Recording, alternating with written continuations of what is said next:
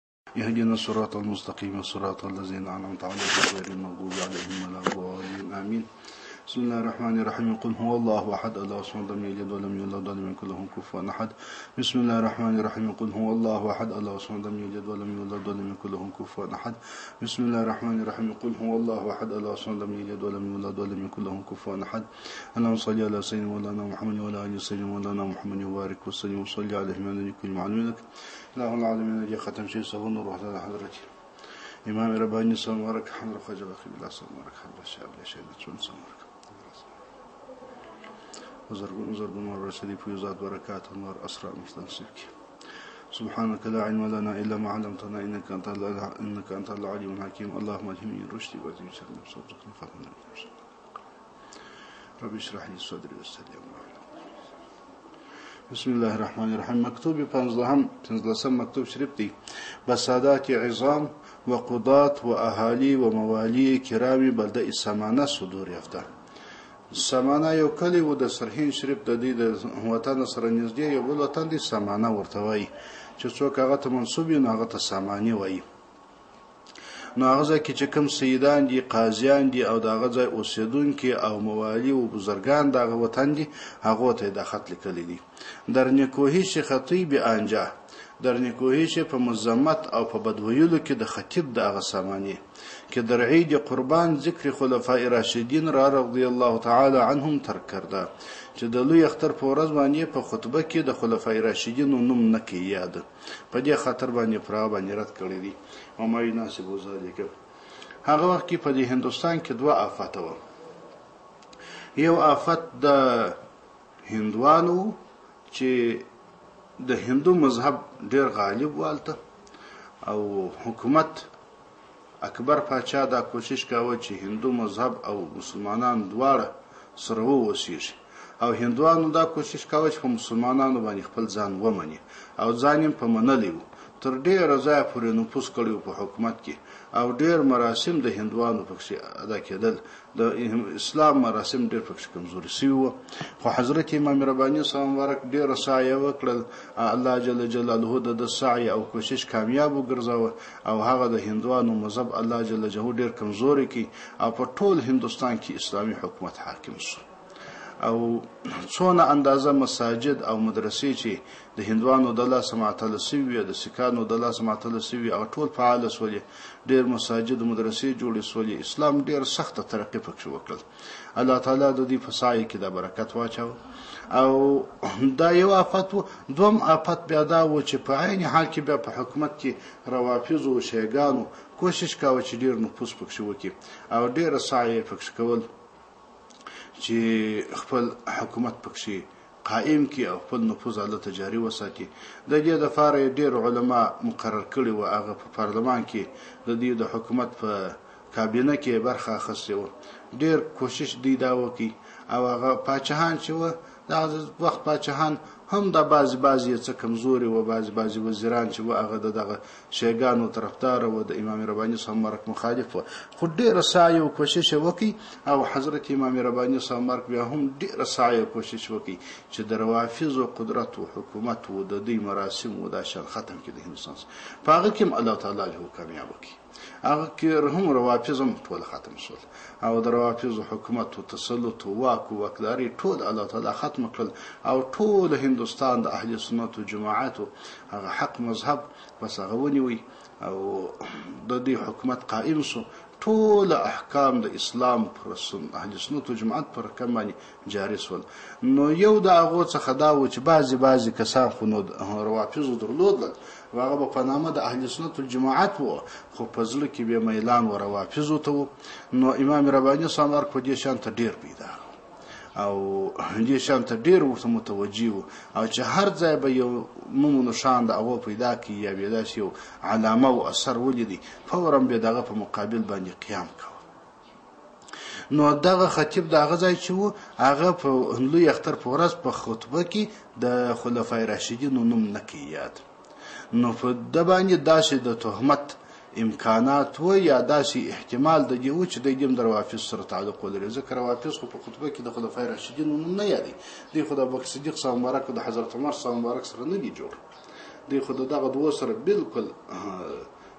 تضاد لري انو دې دګر سره د بیا څلور سره خو د پاو نومان بس ټول پرېښول الحمد لله وسلام على عباده الذين اصطفى باعث تصديع خدام ذوي الاحترام سادات عظام وقضاة وأهالي وموالي كرام بلد إسامانة آنك باعث د تصدیع د سردرد ورکولو د خادمانو چې هغه ذوي الاحترام دي، سادات عظام دي، قضات دي، اهالي و موالي دي، اوسېدونکي او مشران دي، موالي کرام، هغه مولوي صاحبان دي، مشران صاحبان دي، د بلدای سماني آن کې باعث دا دی، شنیده شد که خطیب آن مقام در خطبه عید قربان ذکر خلفاء راشدین را رضی الله تعالی عنهم ترک کرده داسې مې اورېدل شوي دي، داسې مې اورېدلي دي چې د هغه ځای خطیب د عید قربان د لوی اختر په خطبه کې د خلفای راشدینو نومان دې پرېښي دي او اسامي متبرکه یې ایشان رانه خوانده او د هغه د هغو مبارک نومونه یې په خطبه کې نه دي یاد کړي و نیز شنیده شد او داسې مې هم واورېده که چون جمع به او تعارض نمودن به سهو و نسیان خود اعتذار ناکرده به تمرد پیش آمده و هو گفته که چه شد اگر اسامی خلفای راشدین مذکور نشده او داسې مې هم وای واردل چې یو جماعت رالی و دته تعرض وکي او پر دته دا خبره پیش کړ و ده چې پر دوی اعتراض وکړي نو د پر ځای د دې چې په سهو او په نسیان سره خپل عذر راوړاندې کړی وای چې و ده چې راڅه ایر سول سهو سوم خطا سوم داسې عذر نه وای بلکې به تمرد پیش آمده تمرد یې وکړي سرکشي وکړل او ګپتا ویل کې چې شد اگر اسامی خلفای راشدین نو څه وسو که اسامی د خلفای راشدین مذکور نشده نو ذکر شوی نه دا خو څه فرض واجب نه دي چې د خطبه د فرض نه شرط دی نه فرض دی نه واجب دی چې پاتې شو نو څه دی چې پاتې شو دا دا خبره وکړل اولین شنیدا که اکابر و اهالی آن مقام در این باب مساهله ورزیدن و به شدت و غلظت به آن خطیب به انصاف پیش نیامدند او داسې مې هم وای واورېدل داسې مې اورېدلي دي چې د هغه ځای اکابر او د هغه ځای اوسېدونکي د هغه ځای په دې باب کې مساهله وکړل، سستي یې وکړل او په شدت و غلظت سره د هغه خطیب بي انصاف په مقابل کې نه ودرېدل. باید شدت یې کړی وای، غلظت و سختي یې ورسره کړې وای، خو دوی دا کار نه دی کړی. وایي، نه یک بار که صد بار وایي، افسوس دې وي، نه یو وار، بلکې سل واره دې افسوس وي. ذکر خلفاء راشدین رضی الله تعالی عنهم اجمعین اگرچه از شرائط خطبه نیست دا که څن د خطبه د شرائطو څخه نه دی ولیکن از شعائر اهل سنت است دا د اهل سنت د شعائر او د هغو د علامات دی په دې سره دا د اهل سنت شعار دی شکر الله تعالی سعیهم الله تعالی دې د دې سعی مشکور وګرځي ترک نکند آن را به تبعمد و تمرد مګر کسی که دلش مریض است و باطنش خبیث دا هیڅوک نه پریږدي په قصد سره او په تمرد او په سرکشي سره مګر هغه څوک یې پریږدي چې زړه یې ناجوړه وي او باطن یې خبیث وي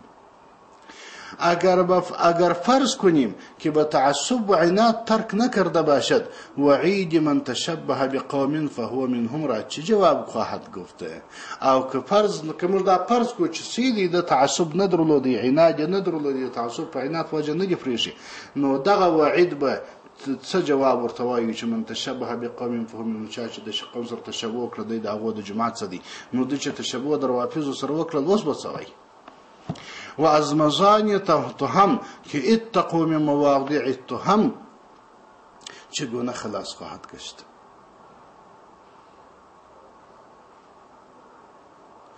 اتقو ځان وساتي مې مواق د عتو هم د هغه مواضع څخه د تهمت ته تهمت ته ځایونه څخه تاسو ځان وساتي د دغه د تهمت د زو مزانو څخه هغه ځایونه چې ګمان د تهمت باندې کېږي تاسو دغه ځای څخه ځان وساتي د دې حدیث شریف مبارک څخه به دې څنګه ځان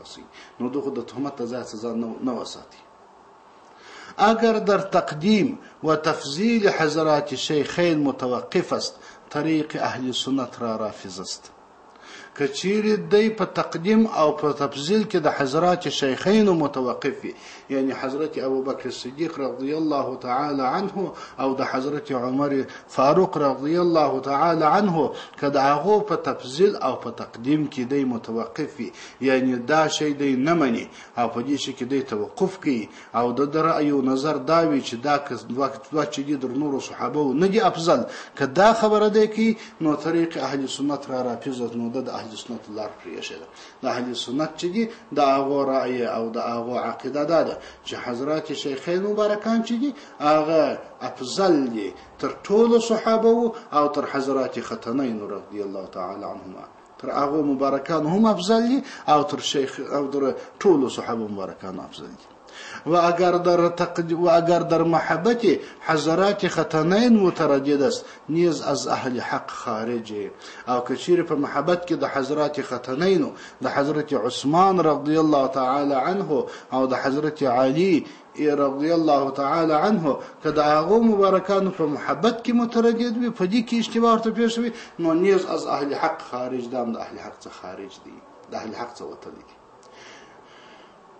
یعنی خوارج چې دي خوارج د خوارج خود حضرت علی سمارک سره نفرت دی دا غوسره نه دی جوړ اخو د حضرت علي صاحب سره ټکر دي روافض چې بیا دي هغه بیا د حضرات شیخین مبارکانو سره ټکر دي هغه بیا د بکر صدیق صاحب مبارک حضرت عمر صاحب مبارک سره ټکر دي نو کدی د هغو په محبت کې متردد وي نو د خوارج څه دي او که د شیخین مبارکانو په تفضیل او په افضلیت کې متوقف وي نو بیا د روافض څه دي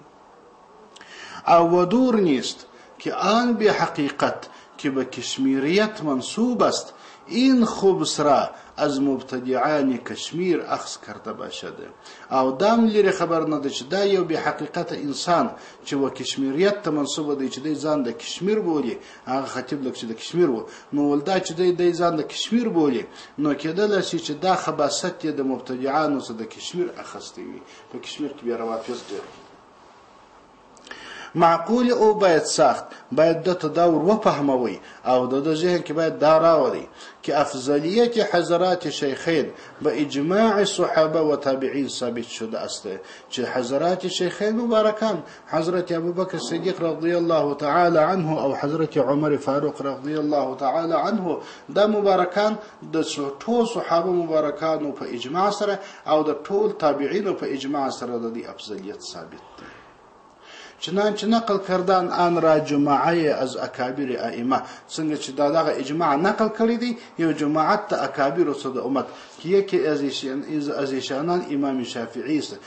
چی یو د هغو اکابرو څخه د امت یې حضرت امام شافعی صاحب مبارک دی رحمت الله تعالی علیه قال الشيخ قال الشيخ الامام ابو الحسن الاشعري حضرت امام ابو الحسن اشعري صاحب مبارک فرمای ان تفضيل ابي بكر ثم عمر على بقيه الامه قطعي دا چې حضرت ابو بکر صدیق صاحب مبارک په افضل دی د ټول امت څخه د نبیانو وروسته او بیا د ده څه وروسته بیا حضرت عمر صاحب د ټولو څه افضل دی پر ټول امت باندې دا خبر قطعی ده دا تفضیل قطعی ده په دې کې هیڅ شبه نشته دا اعتقاد قطعی دی قال الذهبي امام الذهبي صاحب وای وقد تواتر عن علي رضي الله تعالى عنه د حضرت علي صاحب مبارک څخه په تواتر سره ثابته شوې ده في خلافته وكرسي مملكته وبين الجم الغفير من شيعته په هغه وخت کې چې حضرت علي صاحب مبارک خلیفه وو او کرسي د مملکت د ده په لاس کې وه او په مابین کې د جمع غفیر د شیعه وو څه د ده د ملګرو د اتباعو ډیری انسانان حاضر وه د هغو په مخ کې د دا خبره کړې ده ان ابا بکر و عمر رضی الله تعالی عنهما افضل الامه چې ابوبکر صاحب او حضرت عمر صاحب مبارک دا د ټول امت څخه بهتر دي ثم قال بیا ویلي دي د حضرت علي صاحب مبارک ثم قال بیا ویلي دي د زهبي صاحب ورواه عن علي عن علي رضي الله تعالى عنه نيف وثمانون نفسا دا روایت د حضرت علي صاحب مبارک څخه یو یو څو اتیا کسانو کړی دی یو څو اتیا کسانو څخه دا روایت شوی دی چې حضرت علی سمر ته خبر کړی دی وعد منهم جماعتا بیا یې نو یو جماعت د هغو څخه شمېرلی هم دی د هغو نومان یې مخصي دي ثم قال بیا ویلی دی زهبي صاحب وایي فقبح الله الرافضته ما اجهلهم الله تعالی دې دې قبیح وګرځي دا رافضه ما اجهلهم څونه عجب جاهلان دي او وروى البخاري الذي کتابه اصح الکتب بعد کتاب الله تعالی عنه او امام بخاري صاحب چې د کتاب د ټولو کتابونو څخه هغه صحیح کتاب دی پس له کتاب الله تعالی کتاب الله څخه هغه ویلي دي امام بخاري صاحب روایت کړی دی عنه د حضرت علي صاحب روایت کړی دی انه قال چې حضرت علي صاحب مرک ویل چې خیر الناس بعد النبي عليه وعلى اله الصلاه والسلام ابو بکر چه بهترین د انسانانو پس له د مبارک صلی الله علیه و آله وسلم څخه مرکز ابو بکر صاحب دی ثم عمر بیا حضرت عمر صاحب مبارک دی ثم رجل آخر بیا نو بل سړی دی فقال ابنه محمد ابن الحنفیه د د زوی محمد ابن حنفیه صاحب مبارک ویل ثم انت بیا نو ته فقال انما انا رجل من المسلمين نو د مبارک د تواضع په خاطر باندې ویل چې بیا زه خو نه یو سړی د مسلمانانو څخه وامثال ذلك عنه وعن غيره من اکابر الصحابه والتابعين كثيره شهيره لا ينكرها الا جاهل او معاند او د دې امثال د اکابر صحابه او مبارکانو تابعین څخه ډیر دي مشهور دي چې د دې څه نه منکر کیږي مګر جاهل او معاند و به آن بی انصاف باید گفت هغه بی انصاف خطیب ته باید وویل شي کی به محبت جمیع اصحاب پیغمبر علیه و علیهم الصلوات و تسلیمات مأموریم چې موږ د ټول اصحاب مبارکانو په محبت باندې مأمور شوي یو و از بغض و از بغض و ایزای ایشان ممنوع او د هغو د بغض او د هغو د زیرولو څخه موږ ممنوع یو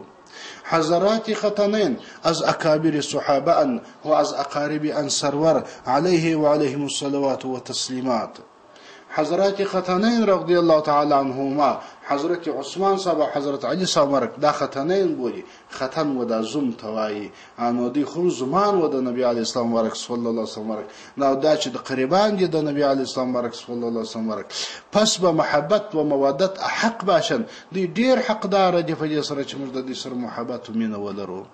قال الله تعالی الله جو قران کریم کې فرمایي قل لا اسالکم علیه اجرا الا الموده فی القربى قل ورته وایه ای نبی علیه السلام مبارک صلی الله علیه وسلم مبارکه ولا اسألکم زه سوال نه کوم ستاسو څخه غوښتنه نه کوم علیه پر دا تبلیغ باندې د دین اجر د تنخواه د مزدوري الا الموده فی القربا مګر یوه غوښتنه درته کوم چې زما د قریبانو سره به مینه کوي وقال عليه وعلى آله الصلاة والسلام او د مبارک صلی الله علیه و آله وصحبه وسلم مرک فرمایلی دي الله الله فی اصحابي صيغه د تحذير ده الله الله في اصحابي اباز خطيبان ده الله الله واي غلط غلطي کی الله الله في اصحابي تاسو وبېرېږي د الله څخه اتقوا الله اتقوا الله وبېرېږي د الله څخه وبېرېږي د الله څخه زما په اصحابو کې لا تتخذوهم غرضا من بعدي تاسو دوی مه نیسئ غرضا هدف من بعدي زما وروسته زما وروسته دوی د خپلو اعتراضونو د خپلو سوالونو هدف مه ګرځوئ پر دوی باندې څه اعتراض مه کوئ او څه خبره مه پکښې کوئ فمن احبهم فبحبي احبهم ومن ابغضهم فببغضي ابغضهم هغه څوک چې د دوی سره محبت لري هغه سبب د هغه د محبت سبب زما محبت دی نو دی زما سره محبت لري چې دی د هغو سره محبت لري او ومن ابغضهم څوک چې د دوی سره بغض لري فببغضي ابغضهم زدا وجه زما بغض دی چې دی په حقیقت کې زما سره بغض لري چې دی د هغو سره بغض کوي ومن آذاهم فقد آذاني هغه څوک چې دی زهیر کې نو هغه په حقیقت کې زه زهیر کړم ومن آذاني فقد آذى الله څوک چې بیا ما زیر کړي نو هغه فقط چې الله زیر کړي ومن آذى الله فيوشك ان ياخذه څوک چې الله زیری نو نږدې او دې ته د چې د راتکه کې په عذابونو سره این قسم گل بدبو از ابتدای اسلام تا این وقت معلوم نیست که در هندوستان شگفته باشد داس یو بدبوی گل فکر نکن چې په هندوستان کې دې در اسپی چې دا څه د اسلام څخه تر اوسه پورې داسې یو ګل بدبویه ګل راپورته شوی نږدې کس کې ازین معامله تمام شهر متهم ګردد نږدې ده چې د دې کار څخه د دې معاملې څخه ټول شهر متهم شي ټول باندې د روافضو حکم وشي بلکه اعتماد از هندوستان مرتفع شود بلکه امکان د دې شته چې د هندوستان څخه اعتماد رفع شي او خلک پر هندوستان باندې بیا اعتماد ونه ساتي او خلک پر هندوستان باندې تهمت د روافضو ووایي سلطان وقت نصره الله سبحانه على اعداء الاسلام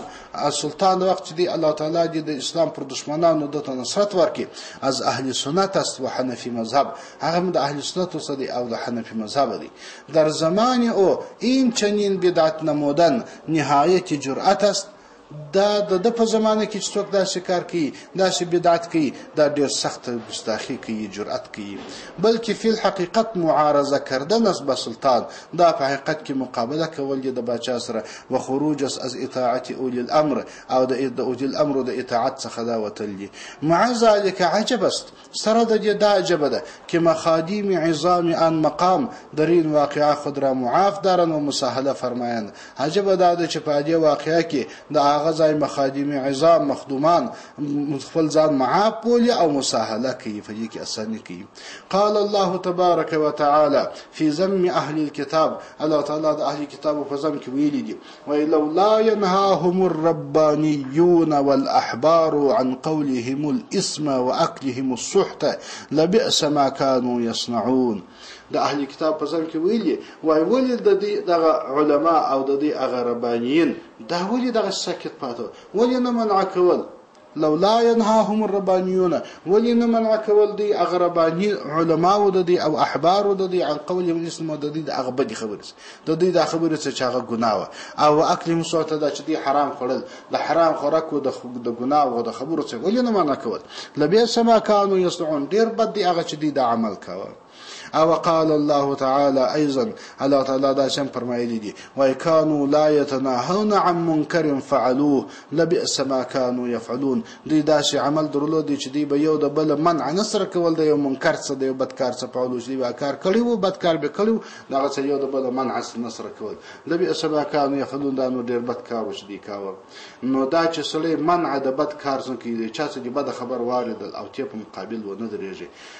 او یعنی دا نه منم چې خامخا به ته جنګ ورسره کوې اول خو موقع ته ګوره مصلحت ته ګوره حکمت ته ګوره په حکمت باندې په هنر باندې په دې به خامخا د د ګناه په مقابل کې د یو بد خبرې په مقابل کې د یو بد عمل په مقابل کې به حتما درېږې اول به په تمامه معنا کوشش کوي چې د هنر و د حکمت څخه کار واخلي که هغه نو د زوره څخه کار باید واخلي هیڅ په خبره نه د سړی پر خوش سي په دې کې سړی دې په دې کې متهم سي سړی باندې دې څه وسی الله خو ویني درین تر واقعات تغافل ورزیدن مبتدعان را د لیر ساخته ناسته په داسې قسم واقعاتو کې چې څوک تغافل کوي ځان غافل اچي نو دا مبتدعان دلاوره جوړوي هغه په دې کې دلاوره کېږي ورخنه در دین کردن او په دې کې په دین کې رخنه پیدا کېږي رخنه یعنی چاک پیدا کېږي سوری پکې پیدا کېږي از مساهلات است که جماعه مهدویه آنجا بر ملا اهل حق را باطل خود دعوت می نمایند وایي دا د مستهم د مساهلاتو څه دی د مساهلاتو څه پیژنه چې خلک داسې مساهله کوي په هر شي کې تجاوز کوي او په شي سر نه خلاصوي او علما او مشران و شي ته نه متوجه کیږي او په هر شي کې اساني کوي د هغه مساهلاتو څه دا پیښه ده کې جماعه مهدویه انجا چې هغه مهدویه جماعت د هغه ځای برملا اهل حق را به باطل خود دعوت مېرمن چې هلته خلک مهدویه ډله راولاړه شوې ده او په ښکاره ډول باندې اهل حق و خپل باطلو ته دعوتوي او در اندک مدت یک یک دوی را در رنگ گرگان از رمه می رو باید او په ډیر کم موده کې یو یا دوه کسان لکه د ګرګانو د لیوانو په شکل د رمې څخه جلا کوي یو یا دوه کسان د رمې څخه جلا کی او وی خوري لکه ګرګان چې خوري نو دیم د اهل سنت او جماعت د جماعت څخه د یو یا دوا په دغه څه په غفلت باندې د دعات ورته وکي او د اهل سنت او جماعت څخه جلا کې په خپل باطل عقیده باندې مشغول کی زیاده چې تصدیع جهاد نور به نو څوې سر در درکم چون استماع این خبر وحشت انگیز در شورش آورد ورګې فاروقي يم را حرکت داد به چند کلمه اقدام نمود معذور خواهند داشت وای څنګه چې مې دا خبر وحشت انګېز واورېدی چې وحشت يې راپورته کړ د شورش آورد زۀ په شورش کې راولم په ما کې ډېر شورش راوستی زۀ ډېر تشويش راته پېښ کړ او ورګې فاروقي يم را حرکت داد زما هغه فاروقي راکته حرکت راکړ حضرت امام يرويس صاحب خو د حضراتو د قوم څو حضرات خو د حضرت عمر فاروق رضي الله عنه اولادونه دي امام رباني سمر ته حضرت عمر رضی الله تعالی عنہ د اولاد وڅو د دې اولادونو حضرتان بولي لکه د حضرت علي صاحب مبارک د بیبي فاطمه رضی الله تعالی عنها اولادونه چې سیدان دي د د مبارک اولادونه به حضرتان بلل کیږي نو وای دا هغه زما فاروقي رګ هغه د عمري رګ چې په ما کې موجود دی هغه هر رګ ته حرکت ورکي نو ځکه مې په څو کلمو سره اقدام وکي معذور خواهان تاج تاسو ما معذور وبولي والسلام علیکم وعلى سائر من يتبع الهدى والتزم متابعه المصطفى عليه وعلى اله الصلوات والتسليمات والتحيات والبركات اللهم صل على سيدنا مولانا محمد وعلى ال سيدنا مولانا محمد وبارك وسلم وصلي عليه